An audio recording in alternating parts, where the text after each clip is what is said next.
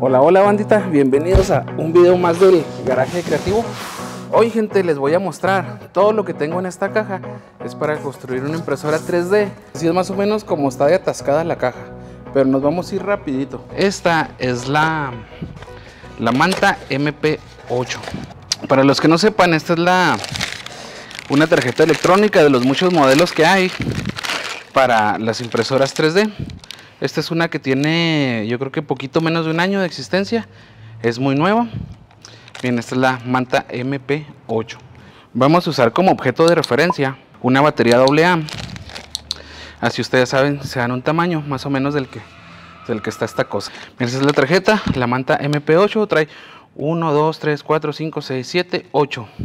Trae para mover hasta 8 motores y mil funciones que pues ya las ya ustedes las verán en su sitio. De lo, de lo que les puedo mostrar aquí interesante, miren, es este, esta es la, la manta MP8 y quiero mostrarles el CB1. Aquí debe andar en una cajita también. Esto de aquí, gente, miren, es el, el CB1 se llama. Computer Board 1. Este es el, el equivalente o sustituto al Raspberry Pi, debido a que el Raspberry Pi pues anda algo caro en estos últimos días. Este debe de ensamblar así. Así es como lo que es el, este es el Raspberry Pi o equivalente, digamos. Es una computadora pequeñita. Esta es la tablilla electrónica de control de la impresora. Ah, cuando ustedes tienen esta combinación que tienen la tablilla de control y tienen el Raspberry Pi, ah, pues lo más recomendado o digamos que casi casi viene prehecho para que ustedes instalen Clipper. Clipper es el software que lleva la impresora, sería como el equivalente al sistema operativo de, la impresora.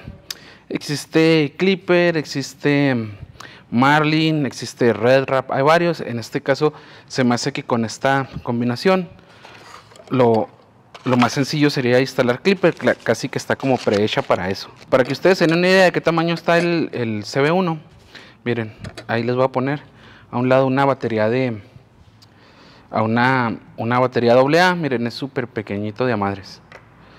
Entonces vamos a guardar esto y a proceder con lo que sigue. Siguiente cajita. Vamos a ponerlo aquí. Esto, gente, es, un módulo Cambus. No me sé los modelos exactamente, así que ahí se los voy a ir poniendo en pantalla. Pero miren, el... Bueno, ese es el módulo para que esta placa, la que les enseñé, la manta, pueda aceptar Cambus. Ahorita les digo brevemente qué es el Cambus. Ese es para que la manta sea compatible con Cambus.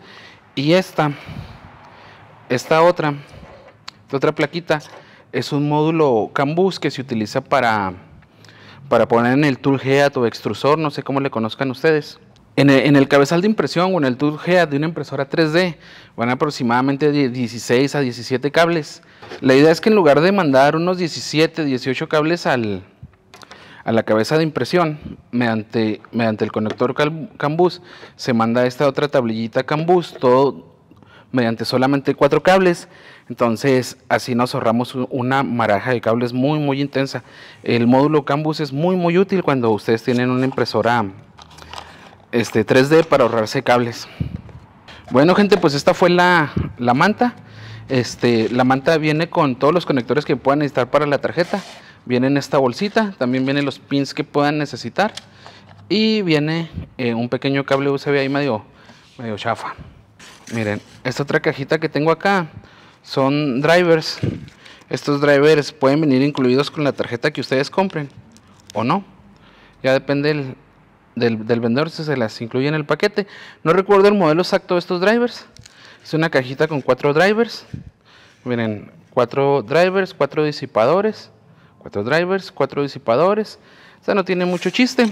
Los drivers se montan en la, en la placa que les enseñé, en la manta MP8 o en la placa que ustedes tengan. Para, son los que mueven los motores. Este, gente, es el disipador para el CB1, para plaquita esa que sustituye el Raspberry. Miren, se los pongo con una batería AA a un lado, para que vean de qué tamaño es. Es un disipador pequeñito de aluminio. Se mira muy bien hecho, muy bien maquinado. Continuamos con este de acá, con el extrusor Orbiter versión 2.0. Se los, se los quiero mostrar acá en, en vivo en video para que vean lo que, lo que trae la caja. Déjenme retirar un poco el lente. Yo creo que por ahí está bien. Miren, este de acá es el Orbiter Extruder versión 2. Esta es la presentación en la que viene. Déjenme mi latino nomás sacar la cámara. Miren, esta es una cosita súper pequeñita. No tengo una pesa, pero es, es, no es pesado, es liviano. Y eso que es de metal. Para que ustedes se den una idea real de qué tamaño es el Orbiter, el extrusor este, miren. Se los voy a mostrar con una pila a un lado, miren. Vamos a pararlo. Miren, es, está como del, del ancho de una batería. Miren, más o menos así está. Para los que no sepan que es un extrusor, ahí les explico luego, luego, miren. Bueno, el extrusor este viene en su cajita. Y, les, pues les va a traer pues obviamente el extrusor, un manualito y un, y un cable, miren. Les voy a traer un cable para conectarlo, que la neta está bastante largo. Ese fue el extrusor Orbiter y les quiero enseñar, ya que estamos con el Orbiter. Miren, les voy a enseñar algo más de aquí vamos a aprender. Aquí vamos a aprender qué es lo que, cómo funciona una, una cabeza de impresión de impresora 3D. A veces la gente a, la, a lo que es la cabeza de impresión, al tool head de una impresora 3D le llaman extrusor, pero no es muy correcto ese término. El extrusor es el que, es, el que empuja el, filamento, gente. O sea, eh, correctamente hablando, este es el extrusor. Solamente esta pieza. Solamente esa pieza es el extrusor. Y esto de acá se le llama hot end. El hot end es el que, es el que calienta el, el filamento, el que lo derrite. Este, gente, es el. Este es el. Este se llama Hoten rápido. UHF de supuestamente de ultra autoflujo. Les voy a poner aquí una la batería AA que estamos usando como método de calibración para que ustedes tengan una idea de, del tamaño, miren. Es el Orbiter 2. El, no, este es el rápido, rápido Hoten UHF se llama este. Miren, ahí lo tienen.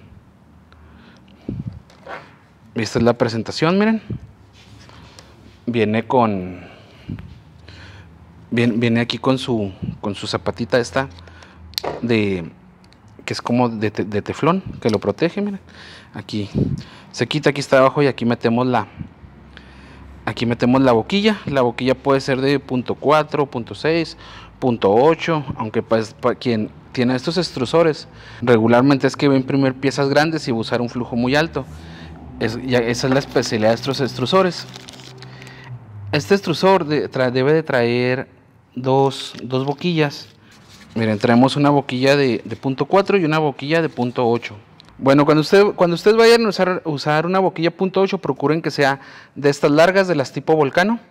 Y la otra boquilla es punto 4, la normal, la que regularmente se usa.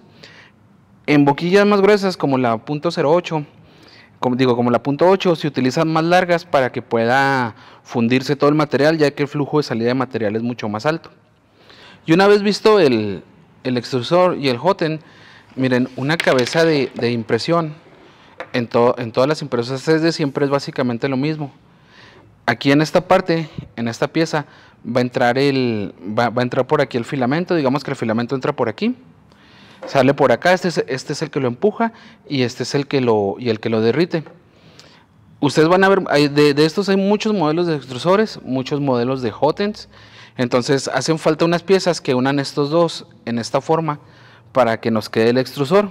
Hay un estándar abierto que se llama EVA, que es muy bueno, que EVA les proporciona las partes para, para hacer su toolhead. Es compatible con, con muchos, luego en otro video se los explico con calma, pero eso es lo que esto es lo más importante de, una cabeza de, impresión. Se me, se me olvidaba mencionar, gente, que el rápido viene aquí también con sus cablecitos y conectores, todo lo que van a necesitar, tornillitos, llaves Allen, este, aquí una esta batería no viene, esa es mía, entonces en, cable, en cablecitos y eso pues no van a batallar. Incluye, gente, dos calcetines, miren, incluye un calcetín chiquito para la boquilla chiquita y incluye el calcetín grandote. Bueno, eso depende de la versión que compren, ¿eh? este es el, el UHF se llama. Hay el que es nomás HF y este es el UHF. Miren gente, y continuando con las cosas de Victritech, tenemos aquí un detector de filamento. Se supone que aparte de detectar o no detectar si hay filamento en la impresora, también detecta el, el avance del filamento. Eso sirve para cuando ustedes están imprimiendo, si este sensor detecta que la impresora pues está imprimiendo pero no avanza el filamento, pues les va a avisar de un atasco y va a parar la impresión. Y trae ahí unas funciones que se supone que pues están chidas. Y viene también ahí con los cables necesarios. Todos los cablecitos que van a necesitar, miren aquí vienen. También viene los este los, los finales de que, van aquí por donde entra y sale el filamento, las conexiones, que son estos de aquí, miren, estos metálicos. Aquí nomás, bueno, y trae un tubito también de, de teflón, pero nomás trae uno. Ah, no, trae dos tubitos. Entonces probablemente traiga todo lo que necesiten y no necesiten comprar nada más, aunque yo tengo ahí tubito ese de teflón por si, por si las moscas. Bueno gente, ahora toca el turno al, al Microprop de BQ, que viene en esta cajita, miren, viene siendo esta cosita chiquita. Esta es una sonda de, nivelación. Los que tienen impresora con autonivelado de cama, pues ya saben la, función, la función que hace el... La, la, sonda sirve básicamente para nivelar la cama, miren, es muy chiquitito de, de madres, miren. Esto es comparado con una con una pila AA. Miren, es muy, muy chiquito. Trae, trae esta pequeña parte, miren. Vamos a ver, ¿no latino? Trae este esta pequeña parte metálica que, que, sale como 3 milímetros, me parece, para, para censar la cama. Y esta, esta es el Micropop de, el de, de BQ.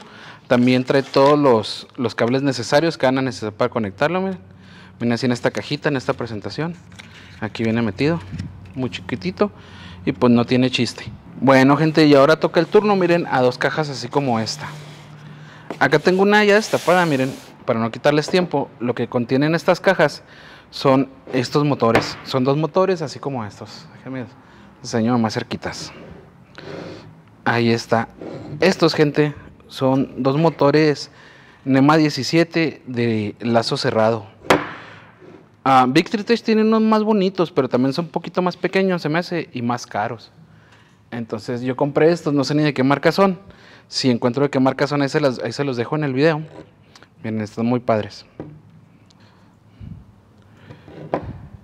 La ventaja de los motores de lazo cerrado es que son un poco menos ruidientos, suelen ser más potentes y más precisos y tienen un poquito de capacidad de autocorrección y pues obviamente no pierden pasos y si pierden pasos y si ustedes habilitan la, la función enable les, les va a parar la impresión porque les el motor va a avisar que, que, anda perdido o si topa o choca con algo el, el, motor o el eje en el que lo tengan pues va a avisar. Entonces estos motores están muy padres están, estos están grandes. Tengo dos de estos uno para el eje X otro para el eje Y. Como les comentaba, estos grandes son para, para, para los de lazo cerrado, son para X y Y. Y voy a tener cuatro motores de estos, para, de estos más chiquitos, para el eje, para el eje Z. Estos que son aquí chiquititos, miren, estos van a ser cuatro para el Z o tres. Entonces no estoy muy seguro de la impresora que voy a construir. Y estos de acá, pues son X y Y, lazo cerrado, miren. Acá, acá miren, tengo la, la, cajita de, los motores. Los motores pues también traen sus cables todos. Al menos estos que yo compré, pero cuando ustedes compren un motor en, en la red, pues lo, más común es que ya les venga con, con el cable. Esos son los de, esos fueron los de, los de Z.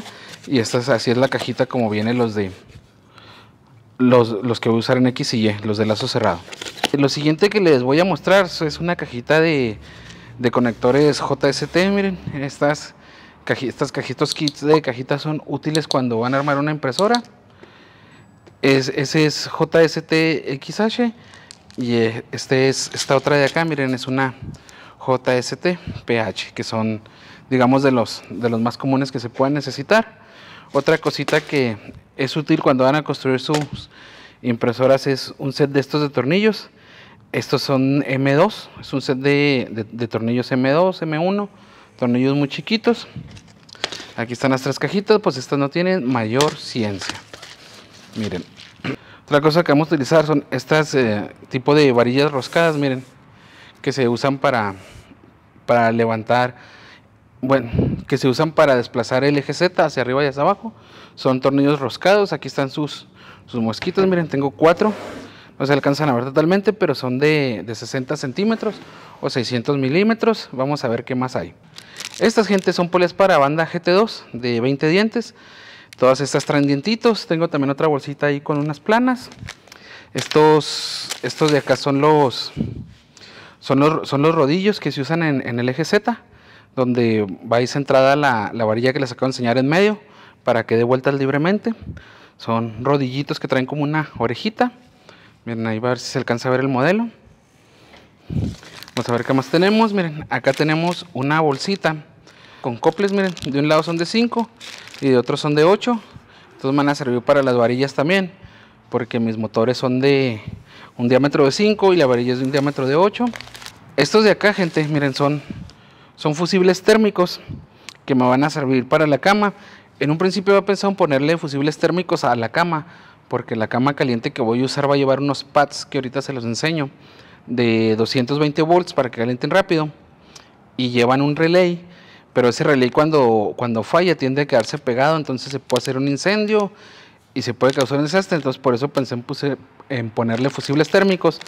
Pero luego leí en un foro y están estas cositas de acá. Estos de acá gente también funcionan como fusible térmico pero tienen la, ventaja de que simplemente se abren y cuando la temperatura vuelve a bajar se vuelven a cerrar. Así no hay que estarlos cambiando. Estos son para 133 grados, son muy baratos, los pueden conseguir en el Express. Cuando la temperatura pasa de 133, de 133 grados en esta superficie, la, conductividad interna se abre y ya no deja, ya no deja que funcione. Pero cuando la temperatura vuelve a la normalidad, se vuelve a cerrar. Esto de acá, bandas, lo que viene en la bolsita, es la banda GT2. Tengo 20 metros de banda GT2 en este, en este rollito. Esta pues no tiene mucha ciencia. Es la banda que llevan las poleas que les acabo de enseñar. Acá, gente, miren, tenemos ahora cuatro ventiladores. Estos ventiladores son de los de 5110, no recuerdo bien el modelo. Estos se usan en el toolhead, en la cabeza de impresión, para enfriar la capa de filamento que va saliendo. Entonces, de estos voy a usar dos en la cabeza de impresión que voy a armar pero como vienen en paquetes de 4, pues compré 4 y son muy económicos. Creo que son 50 10, estos no recuerdo. Ahí les pongo en pantalla. Este de acá, gente, es otro ventilador, miren, este es de la marca Creality. Este es el ventilador que se usa para, para enfriar el hotend, el hotend que ustedes tengan. Yo en mi caso tengo el, el, rápido, depende de los ajustes que tengan de impresión. Este, tiene uno que tener un ventiladorcito para el hotend. Acá tengo otros dos ventiladores iguales de los, de los 5110. Ah, voy a probar de las dos marcas a ver cuál jala mejor. Lo que pasa es que hay unos que son estos ventiladores son muy baratos, pero hay unos que salen muy malos. Entonces por eso compré dos marcas. Una que es Wisin, que es más o menos conocida. Y estos que les acabo de mostrar, que son más desconocidos. Y continuamos, banda. Miren con esto de acá, que es... Esta es una fuente de alimentación uh, Mingwell. Déjenme ver cuántos amperes es. Esta fuente, gente, es de 24 volts. A su madre. Esta fuente de alimentación, gente, es de 12 volts a 17 amperes. Aunque yo estaba pensando que tenía de 24 volts, no sé por qué, pero bueno. Miren, gente, esto de acá está muy grande, ni siquiera alcanza a salir en, en cuadro completo, pero de todos modos para que lo vean. Estas son las son guías de MGH, MGN, no recuerdo cuál es el modelo que, que se usa, igual se los pongo en pantalla, son, son MGN12H. Eh, lo estoy viendo acá en la calcamonía. Mm, es muy difícil grabarse estos modelos. Bueno, yo no me los grabo. Pero estas son de, 12 milímetros de ancho y es el estándar que se usa en las impresoras como Boron o como la Radric. Son, son guías lineales. Estas, gente, son dos guías de 65 centímetros. Tengo dos, espero con estas tener. Miren, estos de acá, banda, son insertos para para impresión 3D. Estos insertos los voy a utilizar en la construcción del cabezal. Lo estoy imprimiendo, por allá está mi impresor ahorita, imprimiendo un cabezal EVA. Luego les hago un video de, cómo hacer un cabezal de impresión 3D. Tenemos también tornillitos, ya casi para finalizar el video, miren. Tenemos aquí tornillos, dos bolsitas, estoy esperando muchos más que me van a llegar. Y también les recomiendo tener a la mano. Yo tengo tres pinzas ahorita. No, sí, aquí están las tres. Yo tengo estas tres pinzas para auxiliarme en la, en la construcción. Esta pinza es para los contactos redonditos que les enseñé casi al final. Esta pinza es para pelar y para algunos contactos cuadrados. Y esta pinza de acá, miren, está especializada para los, para los contactos que les enseñé, los que son JST. En esta es con la que los crimpea uno, las que los aplasta uno encima del cable para no estar batallando. Yo les recomiendo tener estas tres pinzas, no son muy caras. Recuerden suscribirse al canal, gente, tiren paro, somos son muy poquitos suscriptores, entonces pues suscríbanse. Ya para finalizar, gente, les voy a enseñar los, los heat patch o parches de calor, los que se utilizan para, para calentar la cama caliente de las impresoras, pero esos están muy grandes, déjenme y desmonto la cámara y se los enseño. Les muestro los, los parches de calentamiento. Miren, son cuatro paneles de calentamiento de 60 por 60 cada uno, los que nos daría un total de, de tamaño de cama de 1,20 metro 20 por 1,20 metro 20 para que vean el tamaño de proyecto que, que quiero armar. A nosotros solemos armar máquinas muy grandes, miren aquí en nuestro taller. Ahí tenemos una CNC también de ese tamaño. Allá tenemos una CNC del doble tamaño. Entonces no, no nos asustan las cosas grandes. Más sin embargo es la primera vez que voy a hacer una impresora 3D desde cero. Aconsejenme ustedes si empiezo con una de, de 60 x 60 o me evento de, de una vez con la de 1.20 x 1.20. Los miro aquí en los comentarios, gente. Suscríbanse al canal. Esténse al pendiente de la construcción de nuestra maquinita. Y nos vemos.